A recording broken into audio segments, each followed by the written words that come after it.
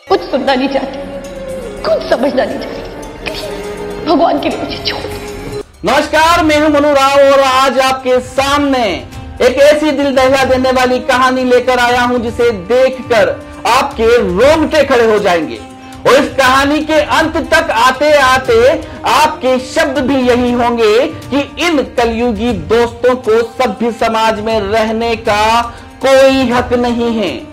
या तो इनकी बाकी की ज़िंदगी जेल में ही कटे, या कानून की ऐसी धाराएँ इन पर लगे कि इन्हें फांसी नसीब हो। जी हाँ, इन दरिंदे दोस्तों ने ना सिर्फ़ एक मासूम सी युवती को अपने जाल में फांसा, बल्कि एक ने उसके साथ जबरन विवाह किया और दूसरे से भी शारीरिक संबंध स्थापित करने के लिए मजबूर किया। जब युवती नहीं मानी तो समुदाय विशेष से जुड़ा दूसरा शख्स उसे बहला फुसला कर अजमेर ले जाना चाहता था। लेकिन रास्ते में ही एन वक्त पर युवती ने अनहोनी को भाप लिया और बाइक से उतरकर मौके से भाग गई और सीधे पुलिस की शरण में जा पहुँची। वहीं इस पूरी कहानी से पर्दा उठ गया। सोचिए, अगर युवती आरोपी के साथ चली जाती तो शायद केरला फ़िल्म जैसी ज़िंदगी इस युवती की हो सकती थी। पेश है हमारी खास पेशकश। दरिंदों ने शर्मसार कर दी दोस्ती।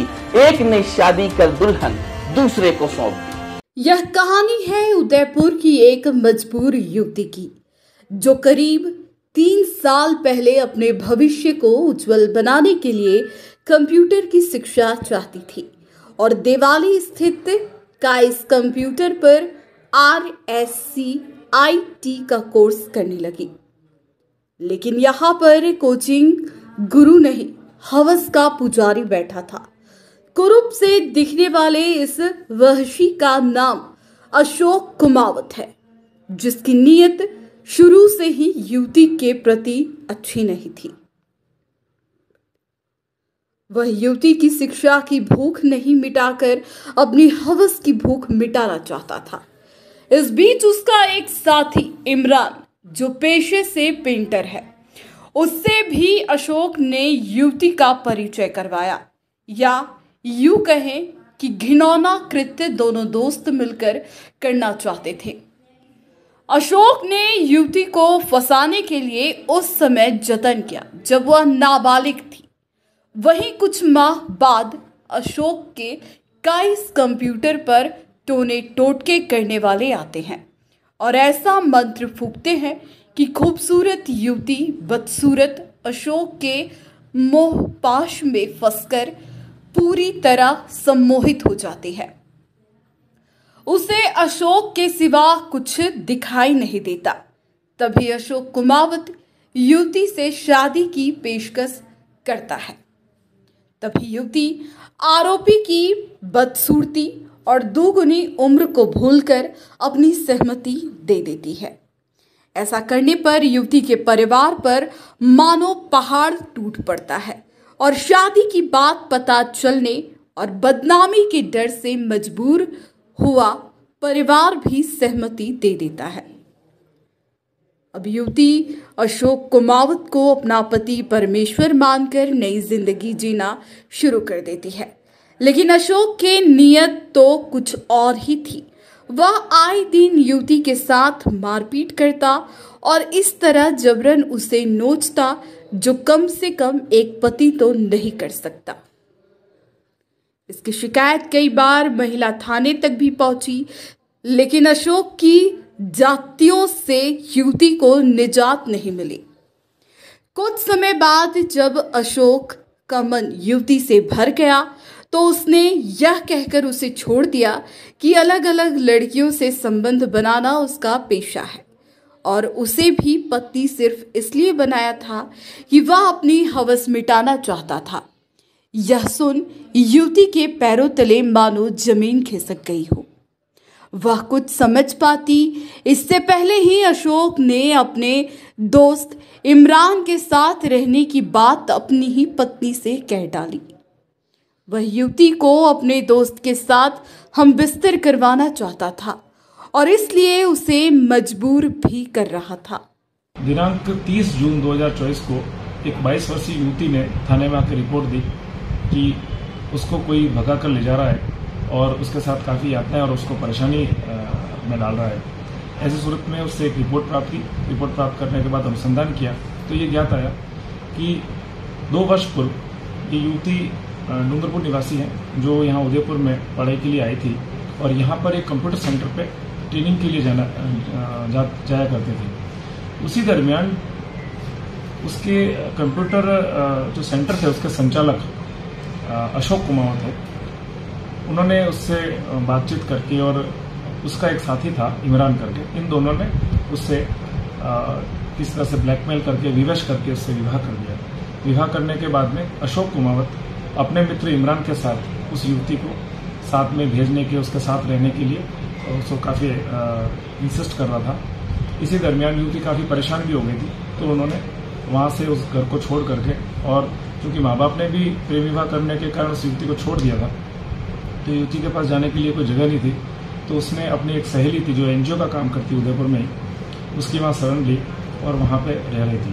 एक युवती को फांस कर उसके साथ सात फेरे लेने और मन भरने के बाद उसे छोड़ते हुए दोस्त के पास जाने की बात कहना। क्या कोई पति ऐसा कर सकता है? अशोक तो वास्तविकता में पति कहलाने के लायक भी नहीं है।